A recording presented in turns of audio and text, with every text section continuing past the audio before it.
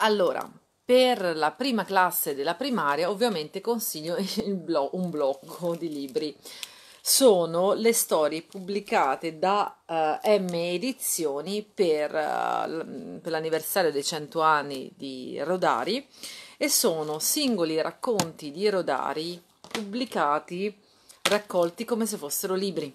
Quindi abbiamo uh, tanti, sono otto mi pare, non so se li ho tutti qui adesso fisicamente, ma otto titoli in questa collanina. Leggo una storia col maestro Gianni, questa è la collana, e che danno uh, enorme soddisfazione di lettura. Sono tutti in maius- stampatello maiuscolo, quindi potete provare a lasciarli in mano a loro direttamente. Uh, sono, vi leggo i titoli che ho qua: L'orso pescatore, La casa del signor Venceslau, eh, La corsa delle tartarughe, Il concerto dei gatti, Topio dei fumetti, La passeggiata di un distratto, Il semaforo blu. Sì, non le ho prese tutte, però dopo ve le elenco. Vi faccio vedere quella che è la mia storia dell'infanzia per farvi capire com'è.